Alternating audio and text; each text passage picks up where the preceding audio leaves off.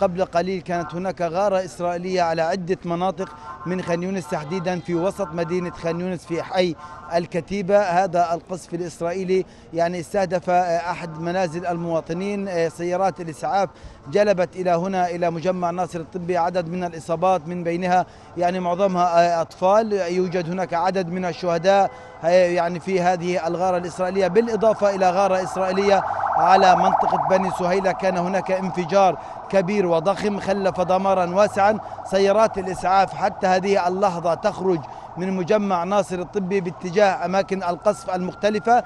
نحن نتحدث عن إصابات كبيرة. لا زالت سيارات الإسعاف الآن تخرج أيضا من مجمع ناصر الطبي بمناطق الاستهدافات في وسط خان يونس وفي المنطقة الشرقية من خان يونس. نحن نتحدث عن ثلاثة غارات إسرائيلية عنيفة ضربت منطقة خان يونس بعد يعني حزام ناري بستة غارات إسرائيلية متواصلة بعد سلسلة أيضا غارات على هذه المدينة منذ الساعة السابعة صباحا. وحتى هذه اللحظة والغارات الإسرائيلية لم تتوقف عن مدينة خان يونس. الأمر الذي دعا إدارة مجمع ناصر الطبي بدعوة المواطنين إلى ضرورة التبرع بالدم بشكل سريع حتى يتسنى لمجمع ناصر الطبي التعامل مع العشرات من الإصابات والإصابات الخطيرة التي تصل إلى مجمع ناصر الطبي. أحد ضباط الإسعاف قال أنه حمل عدد كبير من الأطفال جراء الغارة الإسرائيلية على حي الكتيبة من بينهم شهداء من الأطفال. صورة الأوضاع في خان يونس هي خطيرة ويعني الغارات الإسرائيلية لا تتوقف وهي غارات عنيفة أصوات الانفجارات مدوية بشكل كبير جدا وكأننا عدنا إلى المربع الأول واليوم الأول من العدوان الإسرائيلي على قطاع غزة. غارات في كل مكان في المناطق الشرقية في وسط المدينة في غرب المدينة في المخيم في منطقة قيزان النجار وأبو رشوان في منطقة الفخاري بالقرب من مستشفى غزة الأوروبي ربما الآن سيارات الإسعاف الآن تجلب عدد من الإصابات إلى مجمع ناصر الطبي.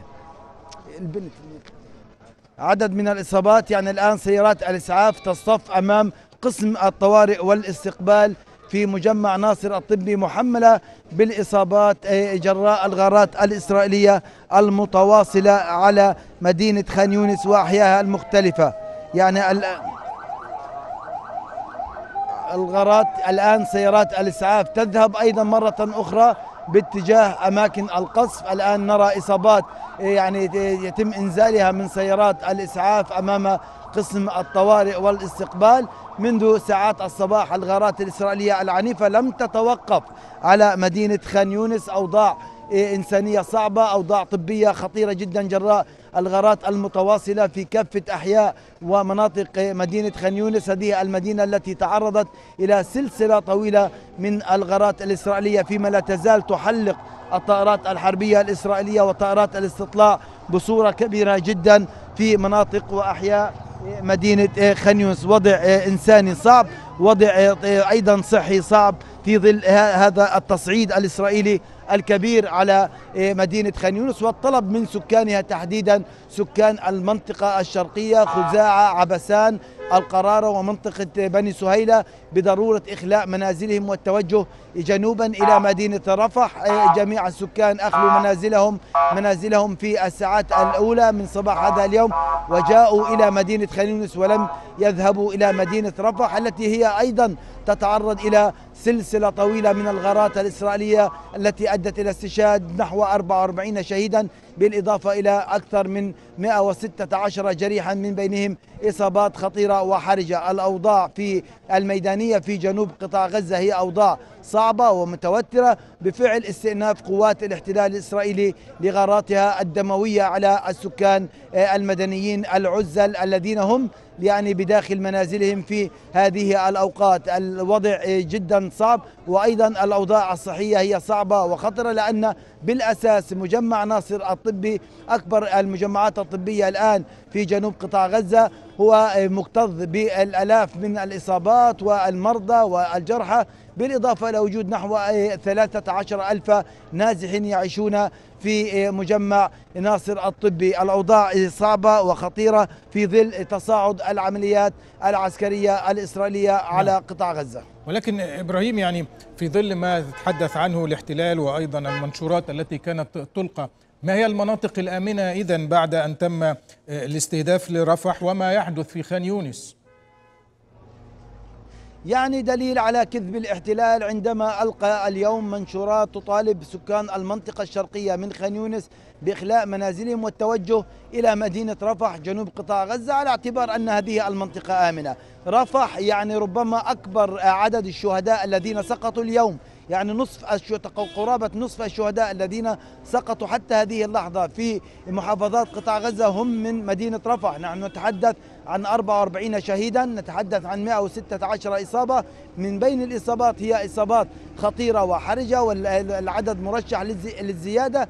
بالإضافة إلى استمرار قوات الاحتلال الإسرائيلي بغاراتها الدموية على مدينة رفح. كيف يطالب سكان إيه، المنطقة الشرقية من خنيوس بالذهاب إلى رفح وهي تتعرض إلى سلسلة من الغارات عشرات الغارات الإسرائيلية التي استهدفت وسط رفح شرق رفح غرب رفح والمنطقة الحدودية يعني الجنوبية من رفح بالإضافة إلى المناطق الشمالية إيه، الشرقية من رفح. كل هذه المناطق تعرضت إلى غارات عنيفة جدا. لا توجد أي منطقة آمنة من رفح حتى بيت حنون. كل المناطق هي مناطق معرضة للقصف والاستهداف بالأحزمة النارية بالقذائف المدفعية وبالطيران الحربي الإسرائيلي. علاوة على إطلاق الصواريخ من قبل طائرات المسيرة بدون طيار. كل مناطق قطاع غزة اليوم تعرضت إلى عمليات القصف وبالتالي لا توجد أي منطقة آمنة في قطاع غزة ولا يوجد حي آمن في قطاع غزة. إسرائيل اليوم وزعت آلة الموت والقنابل والصواريخ على كل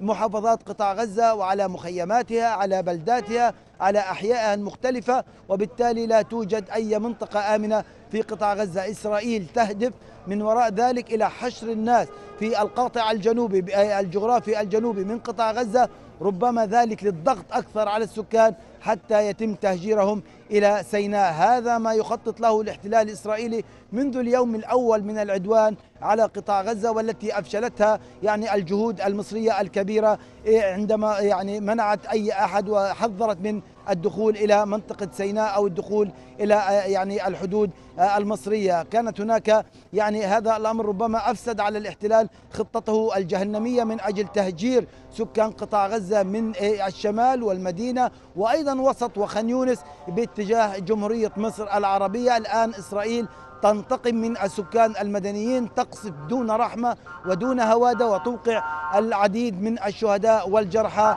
بين صفوف المدنيين. سيارات الإسعاف حتى هذه اللحظة تخرج من مجمع ناصر الطبي باتجاه كل أماكن القصف الكبيرة. الآن عمليات انتشال المصابين والضحايا من تحت ركام المنازل يستغرق وقتا كبيرا لأن القذائف الإسرائيلية عندما تسقط على المنازل هي تدمرها وتحولها إلى كومة من الركام والحطام. تحتاج طواقم الدفاع المدني إلى ساعات طويلة حتى تتمكن من انتشال المصابين أو الأحياء أو حتى جثمين الشهداء من تحت أنقاض المنازل لأن المعدات المتوفرة لدى الدفاع المدني لا تستطيع التعامل مع حجم الدمار وحجم القصف الهائل ضد السكان المدنيين. هناك معلومات الآن عن غارة إسرائيلية على بلدة بني سهيلة. بني سهيلة شرقي خان يونس. نعم, نعم. نعم بلدة بني سهيلة منذ الساعة, الساعة السابعة صباحا وحتى هذه اللحظة لم تتوقف فيها الغارات الإسرائيلية. جزء من هذه الغارات نستطيع سماعه من هنا وجزء آخر لا نستطيع سماعه لأن المنطقة بعيدة نسبيا عن مناطق إيه، يعني مدينة خنيونس أو المنطقة الغربية من خنيونس المنطقة بني سهيلة عبسان خزاعة القرارة الفخاري منطقة الزنة والفرحين هذه المناطق القصف الإسرائيلي لا يهدأ بها إطلاقا منذ ساعات الصباح وحتى هذه اللحظة. وأيضا منذ بداية العدوان في 7 أكتوبر وحتى هذا اليوم الغارات الإسرائيلية لم تتوقف باستثناء الأيام الهدنة السبعة التي تم التوصل إليها. ما دون ذلك هذه المناطق هي عرضة ومستباحة من قبل الطائرات الحربية الإسرائيلية ومن قبل المدفعية الإسرائيلية. سيارات الإسعاف ذهبت إلى بلدة بني سهيلة وربما الآن يعني عدد من يعني نرى عدد كبير كذا. يعني رأيت في الصورة هناك نعم. عدد كبير من سيارات الإسعاف هي متوقفة تماما أمام قسم الطوارئ والاستقبال في مجمع ناصر الطبي. هذا دليل على أن حجم الإصابات التي وصلت إلى مجمع ناصر الطبي هو كبير. يعني كل السيارات الآن متوقفة أمام قسم الطوارئ. هناك سيارة إسعاف جديدة دخلت إلى قسم الطوارئ.